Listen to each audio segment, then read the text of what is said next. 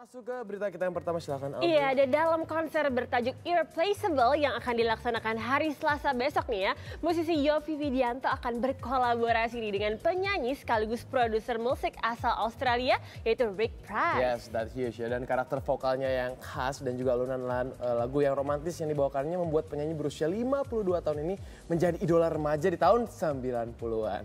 Dan untuk Entertainment News, Rick akan bercerita tentang ketertarikannya untuk tampil di Indonesia.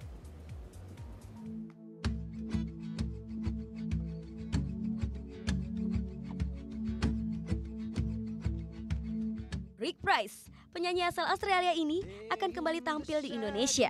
Ya, penyanyi berumur 52 tahun tersebut akan berkolaborasi dengan Yovie Widianto dalam konser bertajuk Irreplaceable pada 24 September di Jakarta Convention Center. Ditemui dalam press conference yang digelar di salah satu mall di bilangan Jakarta Selatan, pelantun lagu Heaven Knows ini bercerita tentang ketertarikannya untuk tampil di Indonesia. She's always on Well, uh, I, I just responded to Yovi's invitation, and I come to Indonesia mostly if, if I'm asked to come, you know, people, uh, promoters or, or concerts to come, then uh, that's, you know, I, I accept the invitation and come. It's always to, nice to come and play somewhere if people want you to come, so that's nice. Getting stronger every day. And even Uh, we uh, we will perform uh, two or three songs together. Uh, a little bit of something that we wrote together. One of my uh, well-known songs, one of Yovi's well-known songs. Collaborate together with the band. The band is amazing. We have beautiful singers. It's going to be a great show.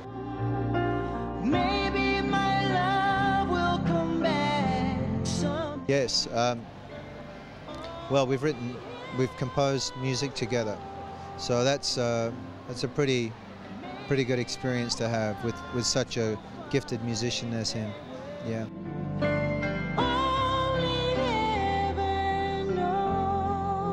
I know I don't know very much about the music industry here, to be honest. Um, but I know you have many talented artists here, many, many talented artists.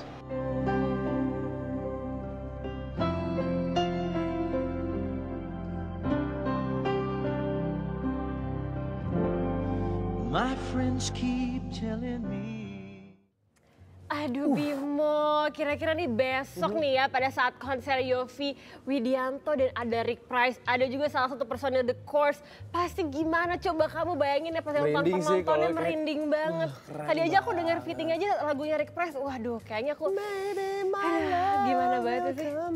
Nggak, nggak cocok, nggak cocok. Nggak cocok ya.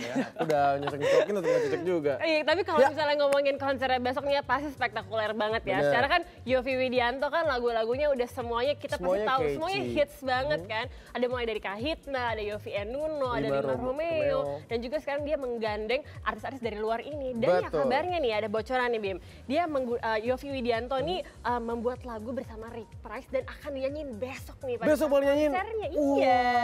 Wah, dijamin sini kalau kata sekarang kan kata-kata yang lagi ngetren banget jebret ini Iya, pasti jebret. besok konsernya jebret, banget. Jebret keren banget nih pasti ya. Jadi langsung aja nih ya yang pengen nonton langsung beli tiketnya dan nonton lah. Yap. Feels the Yofi Widianto galau-galaunya ya. dia. Aduh, kamu lihat nggak tadi kan VT-nya kan Rick Price masih gondrong kayak gitu Iya. kan tuh idolanya zaman-zaman teenagers zaman dulu tuh. Kamu Iya. suka kan lagunya? Suka banget. Tapi gondrongnya banget. sekarang aku lebih suka yang cepak-cepak gitu.